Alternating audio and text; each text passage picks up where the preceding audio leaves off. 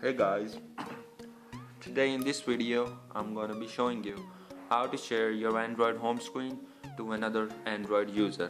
Now let's get started. Now first of all what you need to do is download an app from the Google Play Store called as Inkwire. Here you can see it's the first app named as Inkwire. Through this app you can share Easily share your screen to your friend's user.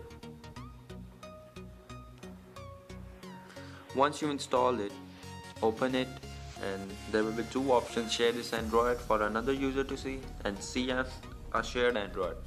Now do these steps on the other Android smartphone like this Inkwire and install it once you install it open say like you want to share your Android home screen to your friend who lives away from you.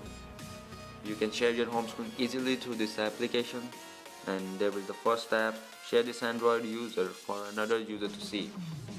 If you want to share your home screen to your Android, tap this option and start now like here.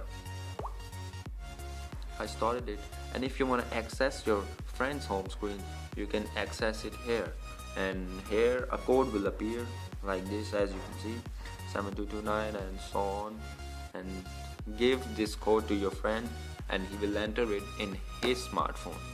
The code is 7229 4381 0610 and just accept it.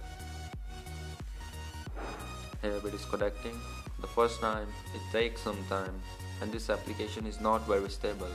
So you may get some you know crashes and bugs and here enable the microphone to start a voice chat. You can even enable the microphone to share a voice chat. It's just like Skype.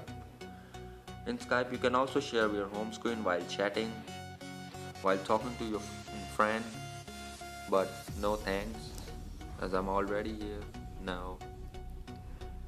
If I go here to the shared screen look Everything I do on my S4 will appear on the G4 as you can see.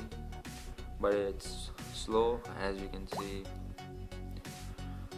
If I tap on my phone like here my friend is showing some of his apps and I wanna know about it like UCamp I will do it like here.